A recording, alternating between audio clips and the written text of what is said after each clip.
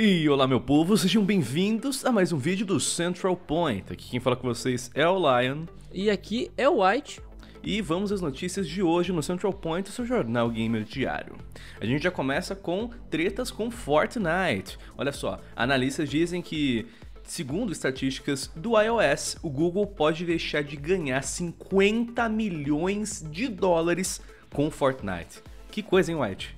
É muita grana. A gente já falou em uns Central Points passados que a Epic Games decidiu colocar o seu jogo uh, exclusivamente no seu site para download e não colocar na Play Store, né? Então o Google está perdendo muito dinheiro com o Fortnite e esse analista está se baseando nas vendas é, e na grana que a Apple está ganhando no iOS, né? Exato, considerando que a Apple está levando 30% de todas as transações feitas no game, ela já ganhou pelo menos aí, uns 54 milhões de dólares. Uh, esse resultado de 54 milhões seria né, similar na Google Play Store caso o Fortnite estivesse disponível na loja. Então, como o Fortnite não vai estar tá na Play Store, a Google vai estar tá perdendo em 50 milhões. Cara, será que eles vão conseguir dar a volta por cima e trazer o Fortnite para Play Store nos próximos meses? Ou será que vai ficar como tá, hein? Eu acho que vai ficar como tá, porque uhum. eu acho que a longo prazo a Epic Games não vai perder muito público por não ter colocado na Play Store. E eu acho que eles vão manter assim. Normal. Bem, até lá já sabe o que fazer. Logo logo Fortnite sai do beta para mobile, você já pode baixar pelo site oficial da Epic Games. Se você tiver em Android e pra galera do iOS é só ir na App Store. Beleza? Então bora pro Fortnite ganhando ou perdendo dinheiro, fechou? Olha, em outras novidades, temos notícias também do filme do Uncharted, viu? Tá pertinho de começar as filmagens, segundo o diretor Sean Levy. Ele diz que a produção está perto de sua linha de largada, cara. Então, Uncharted eu acho que vai ser um filme bem legal porque eu sou muito fã de uh, jogos e filmes estilo Tomb Raider, né? Uhum. E os uhum. dois têm muito em comum. E até saiu o, o novo filme do Tomb Raider, né? Recentemente. E o filme foi muito bom. Eu adoro filme clichê, né? Então, adorei. Olha, o filme vai contar com Tom Holland, mais conhecido como o Homem-Aranha, né, do atual universo cinematográfico da Marvel, e ele vai se passar em uma era antes dos games do Uncharted. Então a gente vai ver um Nathan Drake jovem em formação, a gente vai ver as aventuras dele quando pequeno, e vai ter aí o nosso Spider-Man atuando como o Nathan Drake. A gente está esperando que as gravações comecem nas próximas semanas barra meses, então a gente vai esperar por mais novidades desse filme que a gente espera que seja muito bom. Fechou? Uh, em outras novidades, agora a gente vai falar um pouco de Bethesda. Olha só, Fallout 76 afirma que os jogadores, né, que forem tóxicos, vão ser procurados em game, eles vão receber recompensas pela cabeça deles, cara. Olha só que interessante. Isso, isso me lembra a mecânica do GTA, né? Você que é, Sim. que é super viciado aí, quase level 300 do GTA Online, você pode explicar um pouquinho melhor como que funciona esse sistema pra galera. Então olha só, é, como você falou, é bem inspirado no GTA Online. No GTA, se você é um mau jogador, se você é um jogador que explode o carro dos outros jogadores sem motivo, que mata civis, faz um monte de coisa, o jogo automaticamente coloca um, um nível de procurado. Então, ao entrar no lobby, o sistema avisa, tal jogador está sendo procurado e quem matar ele vai receber uma recompensa em dinheiro em tal valor.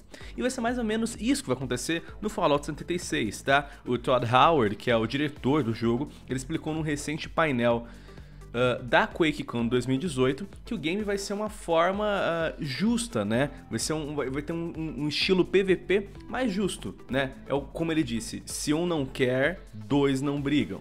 Então é basicamente ambos jogadores devem estar afim de uma treta para poder né, engajar nessa luta. E ele diz que caso um dos jogadores não aceite e alguém mate o outro, né? Tipo, alguém, tipo, ele virar e falar, não quero lutar, mas ele vai lá e te mata, ele vai estar tá sendo tóxico, ele vai estar tá saindo das condutas e uh, os jogadores que estiverem no servidor vão receber uma notificação que se matar esse cara, vai ganhar as recompensas que estão na mochila dele, né? No loot dele. E o mais interessante, cara, é, a recompensa, né, em dinheiro vai sair da conta do jogador tóxico. Olha que bizarro, Pô, isso é cara. é muito legal. É muito legal, não é?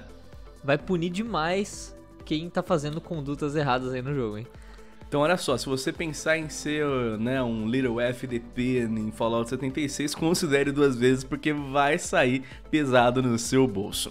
E olha, e ainda falando de Bethesda, né, fora o Fallout 76, a empresa também explicou uh, o motivo né, de ameaçar processar um dos, uh, um dos usuários que estava vendendo um The Evil Within 2 usado online, cara, no marketplace da Amazon. Olha que, que, que doideira.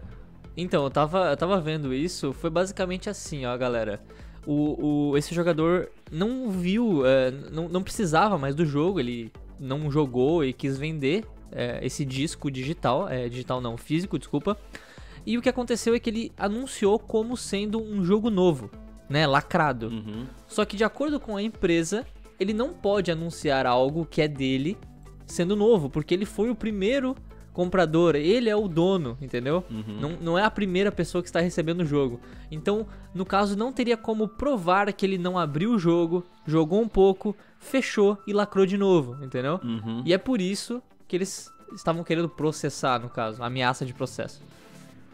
Eles, o Heinz, né, da BTS, ele explica: não é novo. Você era dono dele, você o comprou, então só o lixe como um game usado. É só isso, fim de argumento. foi, foi bem direto ao assunto, né? Tá? Curto e grosso. Curto e grossíssimo. Então foi basicamente isso. Eles não se importam com você vender games usados. A questão é, venda como tal, não fale que ele é novo. Então não dá pra gente saber se o cara realmente abriu, se ele testou o game, mas a gente sabe que a Bethesda apenas quer que ele coloque o game como usado, beleza? Opção da empresa, né, cara? Vamos ver se, se, se vai pra frente esse processo ou não, né? Isso. Em outras notícias, olha só, recentemente nos últimos Central Point, se não me engano, a gente falou que a PlayStation estava anunciando um novo PlayStation 4 Pro edição especial, né, de comemoração de 500 milhões de consoles da PlayStation vendidos, né? De toda a série, né? Desde o PS1 até o PS4. E esse PlayStation 4 é translúcido, né? Então eles comemoraram com, com o anúncio desse novo console e a Nintendo não perdeu tempo, cara. Ela já anunciou, né? Já deixou números divulgados e o último relatório financeiro da Nintendo estima aí que eles tiveram mais de 700 milhões de dispositivos vendidos, cara. Olha só que, que, que briguinha aí, né, de números, né, dos consoles. A, a Nintendo falou o seguinte, ah é, você fez 500 mil, beleza, toma 700 aqui então, né, tipo, na lata assim. Mas enfim, né, cara, tipo, eu, eu particularmente não me apego muito a vendas, né? Uhum. Porque se fosse assim, a TechPix era melhor do, do Brasil, né? Então, fazer o que, né? Mas assim, é um número gigante, né? de, de hardware vendido. Então, cara, sucesso total, né? Sony, Nintendo e, e Microsoft estão com.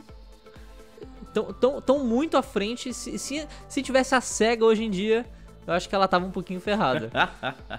Olha, são números incríveis. Entre os maiores sucessos, né, a gente pode falar do Wii, que já tem mais de 100 milhões. Uh, também tivemos o Nintendo DS que vendeu 150 milhões de cópias. Então, uh, são números de peso. E olha, é um, é um tapinhazinho aí sutil, né, na Sony, falar que tem 700 milhões. Mas, cara, acho que é, é, é opinião do consumidor, né, opção do consumidor. E no final, quem está ganhando é a gente que tem mais opção e mais console para comprar. Mas olha, vamos fechar então o Central Point com notícias do mundo da Blizzard, beleza? A gente tem novidades de Diablo, cara. Olha só, Diablo ainda está vivo. Foi recentemente que tivemos uma afirmação no Twitter do Diablo, uh, uma desenvolvedora, né, uma líder de comunidade, na verdade, apareceu para falar que eles estão trabalhando sim em novidades de Diablo, inclusive vai ter muita coisa grande chegando em breve, cara. É, então, eles provavelmente devem estar tá anunciando aí um teaser, ou no máximo um trailer, né? Uhum. Porque como ela disse ali, ó, as forjas da Blizzard uh, estão, a todos, estão a todo vapor e nós temos vários projetos relacionados a Diablo a caminho. Alguns deles vão demorar muito mais tempo, porém esperamos ter algo para mostrar para vocês este ano ainda. Uh!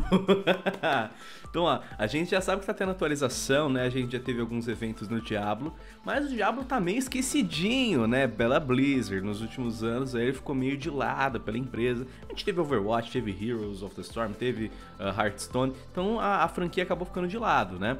Mas. E Warcraft agora, né? Não esquece. Isso. É... Lançando hoje, lançando hoje, né? Isso. A DLC. Tá, inclusive, é, mas olha só, eles estão começando a dar uma atenção para essas outras franquias, né? As franquias mais clássicas. Tem aí o World of Warcraft recebendo The Battle for Azeroth, né? Nova DLC chamando muita atenção. E agora eles também estão fazendo esse teaser aí pro Diablo, cara. Falando, né? Como eles falaram, algumas vão demorar mais tempo, mas esperamos ter algo para mostrar ainda esse ano. Significa que estaríamos esperando por um anúncio na BlizzCon desse ano, cara? Pode ser, eu acho que eles, se fosse anunciar alguma coisa, é BlizzCon, né? Com certeza. Então a gente espera novidades, né? De um novo Diablo, de um novo conteúdo para Diablo 3. Vamos esperar, né? Pelo menos um, um teasing aí chegando. E para fechar, novidade de Overwatch, beleza? Recebemos mais notícias sobre o All-Star Weekend, né? Que vai estar tá rolando em Los Angeles, incluindo novidades de skins, né, White? Sim, essas duas skins a gente já mostrou para vocês, né? Vocês já estão sabendo que é da Tracer e do Genji. E o que acontece? A notícia agora é que a gente tem confirmação de como você consegue comprar essa skin. Você basicamente vai ter que comprar elas dentro do jogo, só que não, vão, não vai ser com o Gold normal, vai ser com os tokens da Overwatch League, cara. Uhum. Esses tokens você pode comprar diretamente no site da Blizzard e eles custam não tão baratinho assim, né, Lion? a gente fez, a gente fez as contas aqui e cada skin vai custar 300 tokens da Overwatch League, que dá mais ou menos aí 80 reais. Você gasta 80 reais, você vai ganhar, você vai ganhar 400 tokens. Uhum. Vai sobrar 100 ainda para você. Mas então fica mais ou menos nesse valor aí, entre 65 e 80 reais uma skin aí nova desse All Stars Match. Então, ó, são skins por tempo limitado, beleza? Você vai ter aí desde 17 de agosto até 27 de agosto para conseguir pegar essas skins. Vão cada uma ser por 300 Overwatch League tokens. E aí você já sabe né, o que fazer. Se você tiver interesse, já pode ir lá no site da Blizzard e buscar informações para poder comprar esses tokens para adquirir essas skins exclusivas. E aí fica a questão, né, cara? 80 é, reais numa, numa skin, será que compensa, cara? Será que é tão legal assim? Vai da pessoa, né? Então, as skins são legais, são exclusivas. Se você é totalmente fã de algum desses heróis e você quer ter a coleção completa dele, você pode pagar, né? Porque assim, para um colecionador, o preço nunca é caro, certo? Não importa se a skin é 80 reais. Se o cara coleciona aquilo, se ele gosta daquilo, ele vai pagar, cara, não importa. Não, não existe preço para coisas colecionáveis. Uhum. É, é, esse, é, essa é a minha filosofia de colecionador, assim. Bem legal. Não tem, não tem preço. Bem legal. Então já sabe, para mais informações, acesse o site da Overwatch League e fica de olho que a partir uh, do dia 17 de agosto essas skins vão estar disponíveis por tempo limitado. Beleza? Enfim, pessoal, essas foram as notícias e os destaques do Central Point de hoje, pro dia 13 de agosto uh, de 2018. Eu quero saber a opinião de vocês dessas notícias, se vocês gostaram e também do feedback de vocês, deixando tudo nos comentários desse vídeo. Fechou? Galera, que falou com vocês foi o Lion e o White. Não se esqueçam de se inscrever e clicar no sininho de notificações para não perder mais vídeos da Central, beleza? Espero que vocês tenham um ótimo dia, uma boa sorte nos campos de batalha e até mais.